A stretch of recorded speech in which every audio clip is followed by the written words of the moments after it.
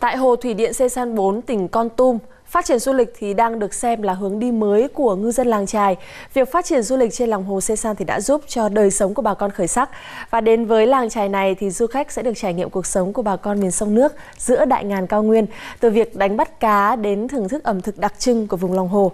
Và phóng viên Minh Tây thì đã có cơ hội trải nghiệm như vậy và chúng ta sẽ cùng gặp lại anh ấy ngay bây giờ. Dạ? Chào quý vị quay trở lại với chúng tôi để đón ngày mới trên uh, xóm trài Sê San.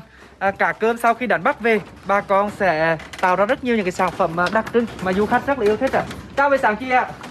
Cá cơm ở trên này thì nó khác so với cá cơm đánh bắt ở những vùng khác thế nào? cái cơm vùng khác nó bự hơn nó có chất mỡ nhiều hơn cái cơm vùng này này nó ít mỡ ngon là ngon cái là không có mỡ nhiều hơn người ta Cả cơm sau khi làm sạch sẽ được uh, ướp qua như thế này và sẽ tạo ra những cái món đặc sản nào chị?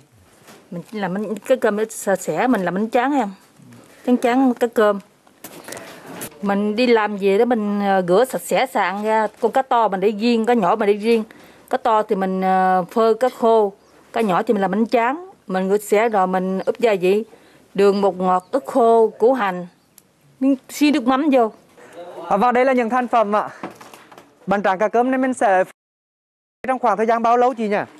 giờ mới khô em Đến 2 3 giờ chiều hả? hai ba giờ chiều ạ. Ngoài bánh tráng cá cơm thì uh, cá cơm đánh bắt về còn làm những cái món nào khác nữa chị? mình làm mắm cá cơm cũng được mà mà phơi khô cái đồ khô cá cơm á Vâng thưa quý vị, đây là những món đặc sản mà du khách ờ, không thể bỏ qua khi mà đến với làng chài Sê San. Có lẽ trải nghiệm thú vị nhất là khi mà đến với làng chài Sê San đó chính là được bà con chở đi thăm thú khắp nơi bằng thuyền máy ạ. Ngoài ra thì còn rất nhiều trải nghiệm thú vị khác nữa phải không anh Triều? đúng rồi tham quan thác mơ tham quan mặt hồ về làng chài ờ, thưởng thức những món ngon đặc sản. Trong cái không gian đặc biệt này có lẽ là anh em mình ờ, sẽ hát tặng ờ, bà con một câu hò nào đấy anh nhỉ?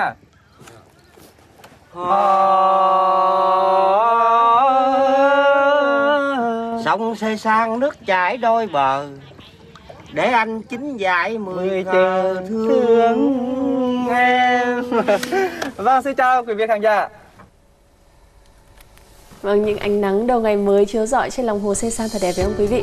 Ở nơi đây không chỉ để lại ấn tượng về vẻ đẹp thiên nhiên mà còn là những nét đẹp thanh bình trong đời sống của người dân làng trẻ ở đây nữa. Cảm ơn các bạn đã xem video.